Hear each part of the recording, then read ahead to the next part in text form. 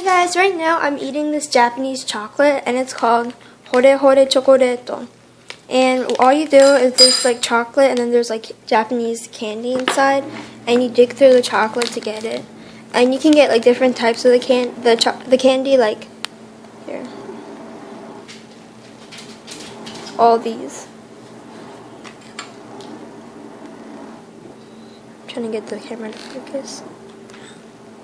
Okay, it's not focusing.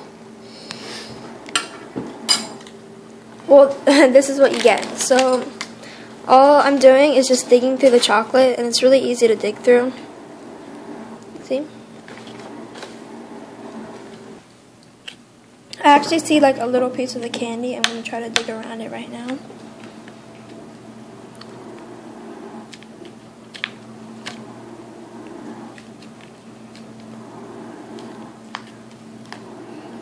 See? Now I can just wash it off and it'll be like one of the one of these. Okay. So I finished digging through the chocolate and I got four I mean five of these like candy things and I washed it with water to see like exactly what it is. It's really hard for me to tell like which one is which, but I know that like this is that but I can't really tell the rest. But I'm going to eat one right now. I'm going to try it.